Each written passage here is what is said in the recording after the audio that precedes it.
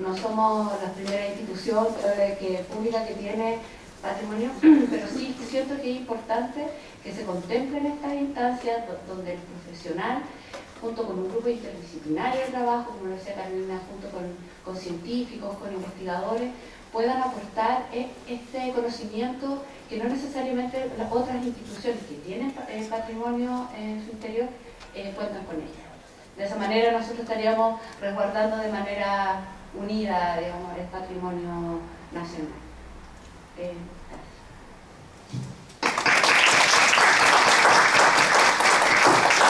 Agradecemos a nuestras visitantes y eh, me imagino que hay alguien que quiere comentar, hacer algún alcance. ¿Será el micrófono?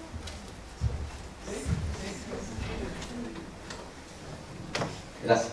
Eh, qué bueno que la moneda se vea prácticamente que están trabajando como un museo, ¿ya? y eso eh, le, da mucho mayor eh, importancia. Quiero hacer dos preguntas en el fondo. Una, todo lado del Departamento de Conservación y Patrimonio, que está dividido en tres áreas. esta área de investigación, área de, conservación y restauración, y la otra área que sería de que me da la idea que es el equivalente a un área de mediación o de educación, como se conoce en otros museos. ¿Cuántas personas trabajan y cuál es el perfil de las personas que trabajan en estas áreas? Esa sería una pregunta. Eh, bueno, y, hago la otra tiro, que en el fondo es para las otras dos Carolina, porque habló, del tema de la conservación y mostró todo el ejemplo de, esta restauración de, de los cuadros, de las pinturas, y también hablaron de cómo están trabajando ahora para controlar la ¿cómo se llama? La temperatura, que es clave, clave dentro de un museo, o en este caso la moneda. Y sobre eso mismo, ya que eh, se preocuparon tanto de esta restauración y, conservación de, las obras históricas, ¿qué van a, que han hecho algo o van a hacer algo respecto a la, iluminación? que también es peligroso, digamos, dentro del trabajo o la conservación de las obras históricas.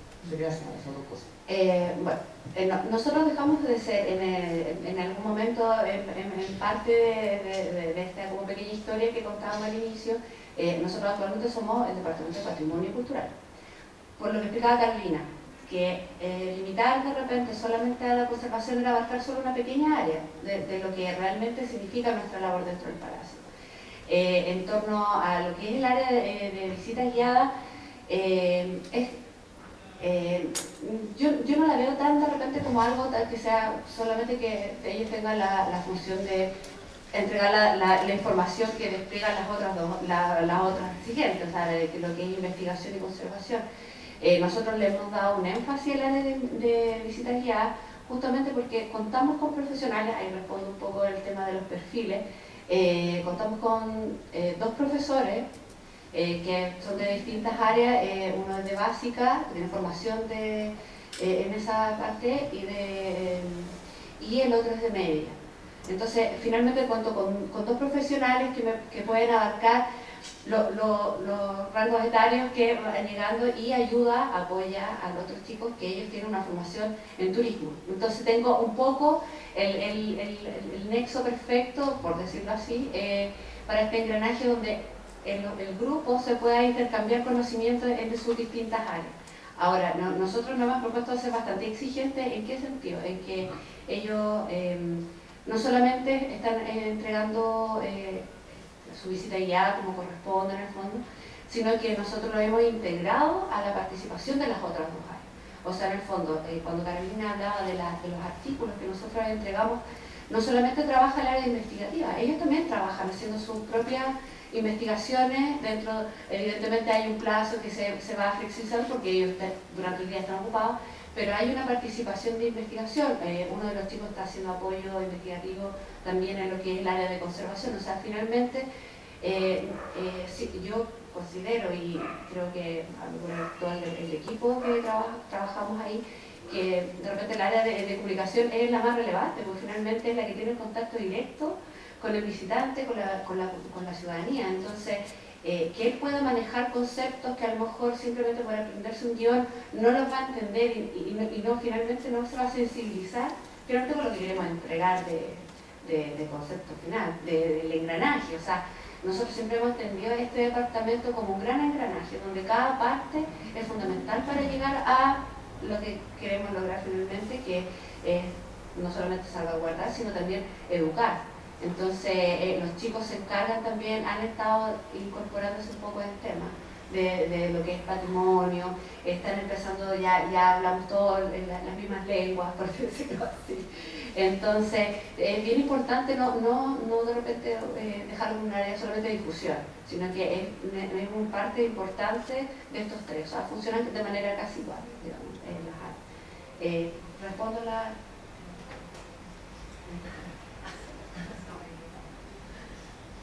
Eh, en relación a la pregunta del control climático, sí, el tema de la luz, sí, es un tema sumamente importante, pero que es un tema mucho más complejo de abordar recordemos que esto no es un museo, y eso siempre lo tenemos que tener presente. Esto es un edificio en uso, vivo, activo. Desde esa perspectiva, al ser un edificio vivo, activo, que está en constante movimiento y que fundamentalmente sirve para otras cosas, como son actos protocolares, eventos, etcétera, etcétera, etcétera, muchas veces el tema de la luz es algo casi incontrolable. ¿Dónde lo podemos controlar? En aquellas áreas donde, o aquellos salones que eh, históricamente o protocolarmente no son utilizados para funciones específicas. Eh, como un ejemplo, que yo creo que muchos de los de aquí, bueno, yo creo que todos, cuando vemos la, la información o cuando sale la presidenta hablando en la televisión, el Salón Mombaras.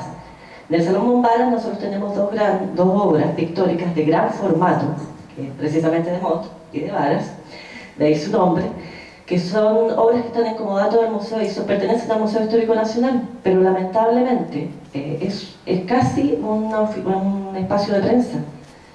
Eh, tenemos que estar permanentemente, cuando viene, cuando, cuando habla la presidenta, imposible que nosotros, mire, sabe que aquí hay tantos looks, así que van a tener que bajarme. No, o sea, uno en el fondo tiene que consensuar. Y eso es, yo creo, la clave de este trabajo. Es muchas veces eh, consensuar eh, ver que hay criterios, saber que las funciones que para mí tiene un objeto son distintas a las que tiene otro. Quizás un icono, una, una pintura, para mí tiene una función artística, estética, un valor patrimonial, pero puede ser que para, para algún presidente tenga una función política. ¿ya? Entonces, ahí hay que moverse y hay que ser un poco más flexible. No sé si respondo a tu pregunta. Sí, no, sí, el tema de que imagino que en algunos puntos eran filtros, cosas por el estilo, pero eh, lo que dices tú, es la funcionalidad que tiene el edificio. Claro, sí. Sí, eh, un poco comentando esa consulta, si están utilizando filtros ultravioleta, los ventanales. Todos los ventanales, de, por ejemplo, de las obras, eh, hay, hay una, un sector que es donde se encuentra el gabinete presidencial, se, hay, un, hay un, un espacio que se le llama la Galería de los Presidentes y es porque hay una colección pictórica que da cuenta de todos los presidentes que ha tenido nuestro país y también en ese sector hay, eh, me parece, esculturas, que son bustos. Bueno, ahí sí. Y eso nace a raíz de otra cosa. No sé si, no sé si es como puedo contarlo, pero en, algún minuto, como yo como Museo Histórico Nacional, se me encomienda la labor de eh, hacer una medición un levantamiento del estado de conservación de nuestra obra en Comodato. Y cuando nosotros hacemos este, cuando hago este levantamiento me doy cuenta que teníamos niveles de lux de 6.008 y tanto, era ya valores así como increíbles. Bueno, de ahí, de ese estudio eh, que realizamos nosotros como Departamento de Conservación del Museo Histórico Nacional, emanó un documento. Y ese documento fue entregado a la dirección de la DIVAN y la dirección de la DIVAN se comunicó con la dirección del Palacio de la Moneda, que en ese entonces estaba eh, Donaldo Zabar, tengo, entendido. Bueno, y de ahí mi, mi llegada a la moneda, porque a partir de ese estudio que yo hice, me llamaron y me dijeron, bueno, aplique todo lo que usted dijo ahí. Es eso. Eh, pero de ahí, eh, debo decirlo, eh, se, se, colocó Film V a la Galería de los Presidentes porque la que tenía unos actores bastante espantosos y a Cerro Castillo por, por la cantidad de la luminosidad completamente distinta a la de Santiago. Entonces, y, el, palacio está lleno de ventanales, entonces muchas de las obras y tapices que se encuentran en su interior se, han recibido deterioro de distinto tipo. Entonces, para evitar, fue, fue el, el, combo de la presión que resultó en este caso y, nos vimos beneficiados con, con, esa, con ese gran documento. Bueno, no tenemos ninguna otra consulta. La verdad es que queremos agradecer enormemente a ustedes tres que hayan venido, especialmente a contarnos su experiencia, una experiencia, bueno, como chilenos, ¿cierto? Nos enorgullece saber que se está haciendo un trabajo tan serio, hablo por mí, pero creo interpretar a, muchos. Así que muchas gracias y les queremos hacer entrega también de un presente.